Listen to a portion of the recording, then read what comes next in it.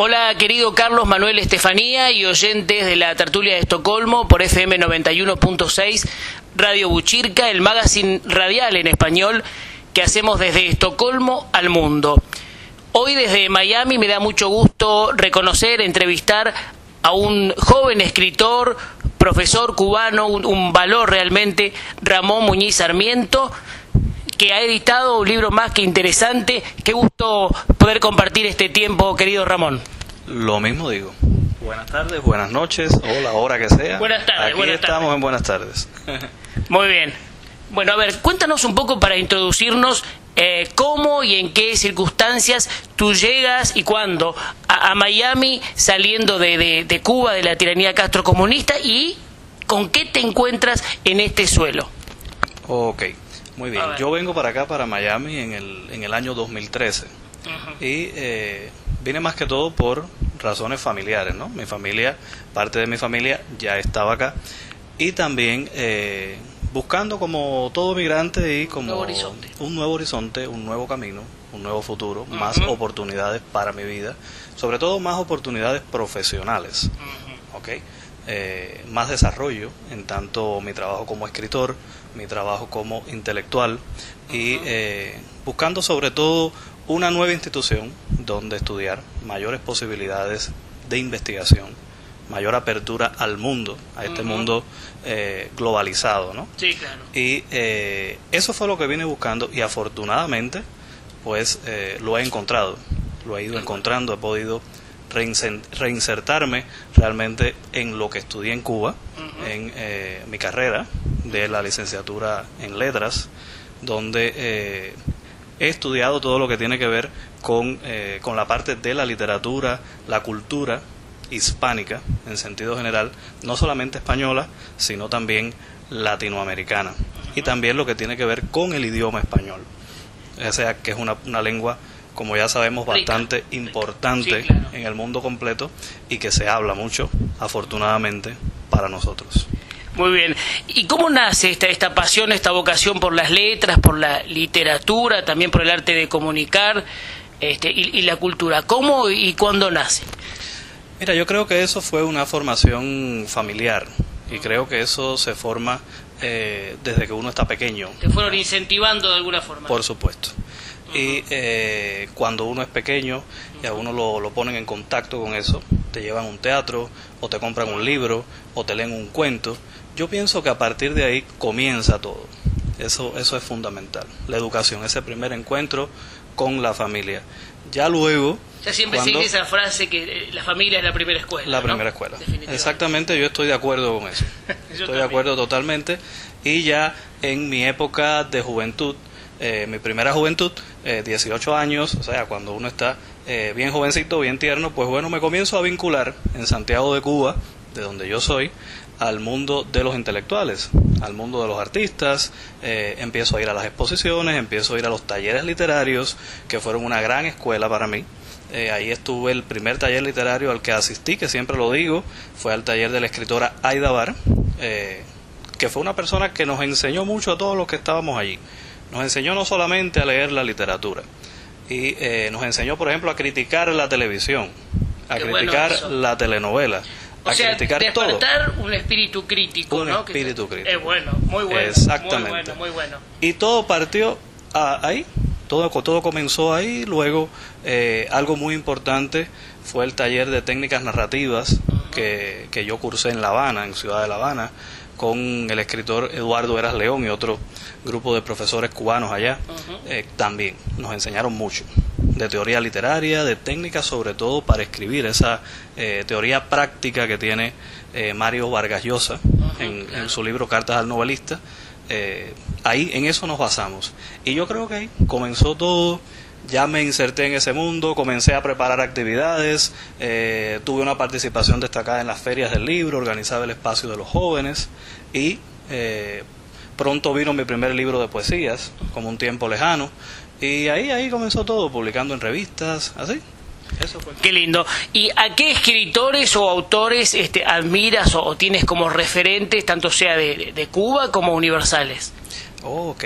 Eso es eh, una pregunta eh, extraordinaria por lo difícil, porque realmente admiro a muchos y eh, me gusta la obra de muchos, y sobre todo cuando eh, lo veo también desde el punto de vista de especialidad.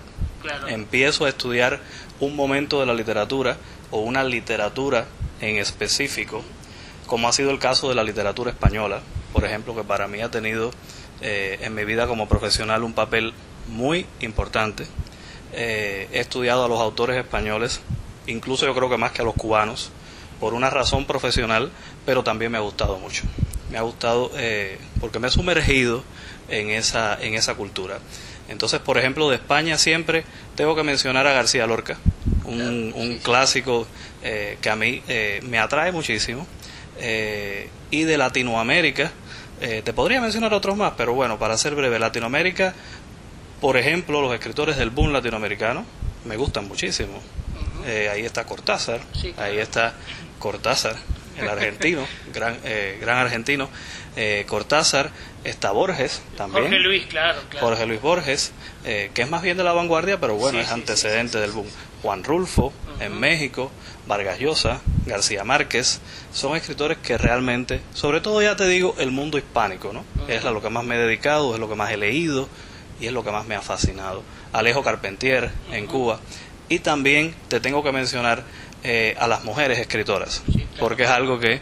Ahora eh, nos vamos a, ahora voy a presentar esa cuestión, pero este es bueno decir y destacar que bueno estamos justamente compartiendo este momento para la tertulia de Estocolmo, el magazine en español eh, desde Estocolmo al mundo y me da mucho gusto poder justamente comentar y preguntar cómo surge el libro y ahí nos, nos detenemos junto a Roxana Mena Fonseca, denominado justamente Dramaturgas Cubanas del siglo XIX, edición en español que se consigue en Amazon.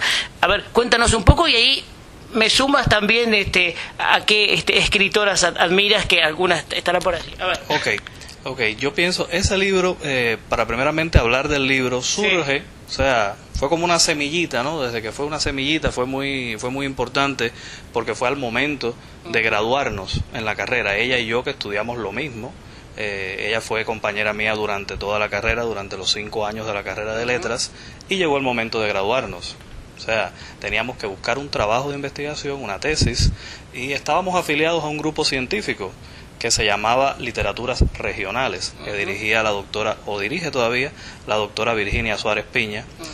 Y aparece este grupo de escritoras ¿eh? que estaban en la sombra, que no se habían eh, estudiado, como sabes.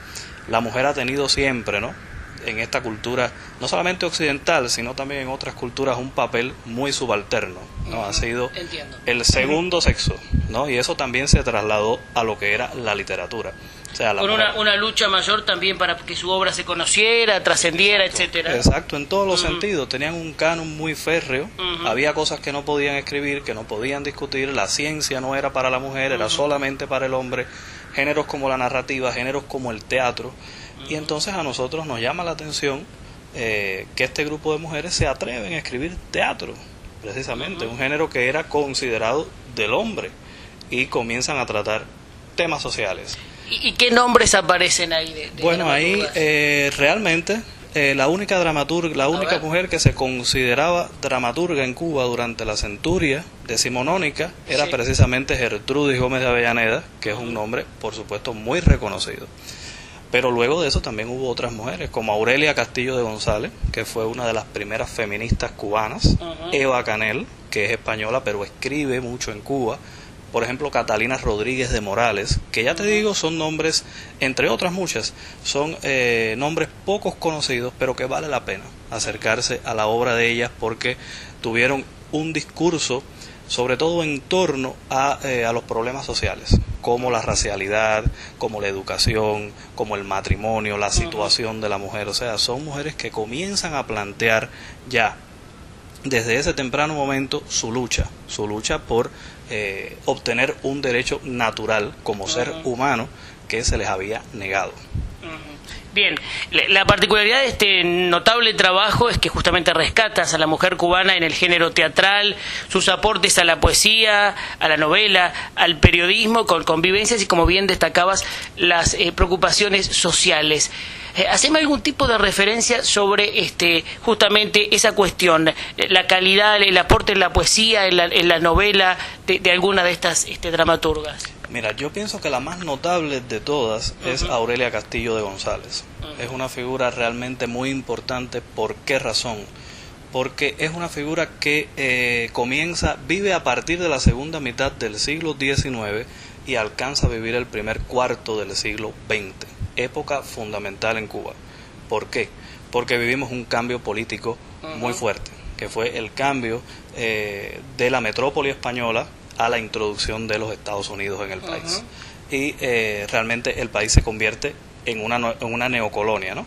Entonces, eh, y todo eso remueve esa sociedad. Y Aurelia Castillo de González tuvo un papel muy destacado porque empieza a, viajar por el mundo y precisamente a reportar. O sea, se convierte en una de las grandes periodistas de ese momento, reporta desde la exposición de París. Absolutamente pionera, ¿no? Evidentemente. Pionera, evidentemente.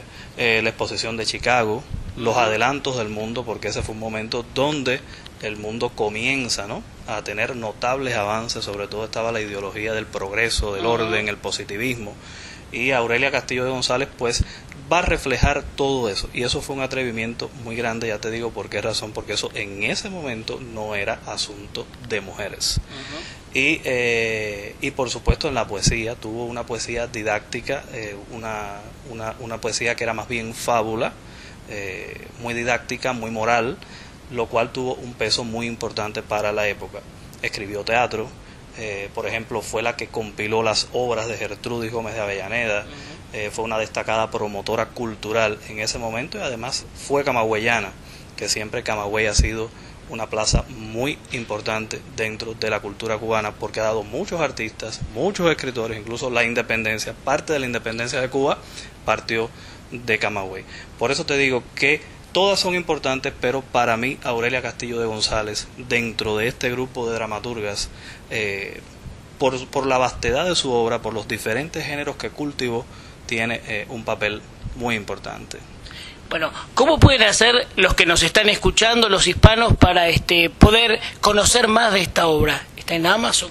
Bueno, yo los invito a que, a que compren el libro. El libro está disponible en Amazon se publicó por la editorial Unos y Otros, eh, a la cual estoy muy agradecido, sobre todo a su director, eh, Armando Nubiola, que eh, fue una persona muy importante, porque yo siempre estoy muy ocupado por la escuela, trabajo, y entonces él siempre, como dándome ánimos, ¿no? Bueno, vamos a acabar de publicar el libro y vamos a publicarlo y vamos a publicarlo, y al final se publicó. El libro se llama Dramaturgas Cubanas del siglo XIX en Amazon, como te digo, a través del Internet es muy fácil, eh, todos podemos llegar a él. Y yo creo que va a ser importante, va a ser importante, eh, por ejemplo, que los cubanos, nosotros, ¿no? conozcamos más acerca de nuestra propia cultura.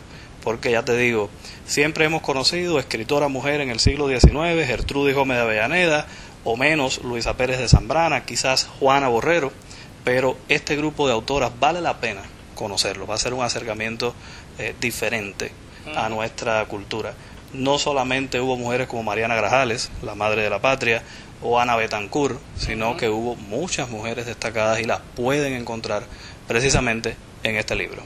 Bueno, muchísimas gracias, un gusto enorme, la verdad, que este, este contacto, esta entrevista que me haya recibido. Y en el final quiero un saludo, un mensaje para los hispanos y particularmente para los cubanos exiliados en Suecia. Mira, un mensaje para los cubanos y para los hispanos en sentido general eh, yo pienso que sería que defendiéramos siempre nuestra cultura, que, estuviéramos siempre orgullosos de nuestra cultura y de nuestro idioma. Y aquí te quiero hacer una anécdota para ti y para ellos. Hace un tiempo, cuando llegué a este país, estaba eh, haciendo un curso de inglés, porque para entrar a la universidad tuve que tomar un examen muy fuerte, como si hubiera hablado yo inglés de toda la vida. Y eh, evidentemente yo estaba algo preparado en el inglés, pero tuve que prepararme más para eso. Y un día, una persona allí, una profesional, me dice, bueno, aquí nadie estudia español porque ¿qué literatura tiene el español? Y yo tuve que aguantar aquello, ya te digo, y creo que lo comenté en, ese momento en Facebook, Dije, mi fracturado inglés se fracturó más todavía, ¿no? Porque me dio mucha Claro. ira no poder Pero por supuesto. eh, contestar como ella merecía, porque realmente era un desconocimiento total de todo el valor que nosotros tenemos, de todo lo que significa el español, de nuestros escritores que son grandísimos y Latinoamérica y España tienen una literatura extraordinaria, incluso en Filipinas hay literatura escrita en español que está por estudiar, o sea, pienso que el alcance del español y de nuestra cultura es fundamental. Y eso es lo primero que nosotros como hispanos, como latinos, Tenemos que luchar, bregar. tenemos que porque- mantener, porque eso, porque se conozca eso y porque nosotros significamos, valemos algo Claro, en el mundo, Claro que sí. a pesar de que se ha tratado de esconder y de soterrar, por supuesto, tenemos una gran cultura. Muchas gracias, ¿eh? Un gusto enorme. Gracias a ti, encantado.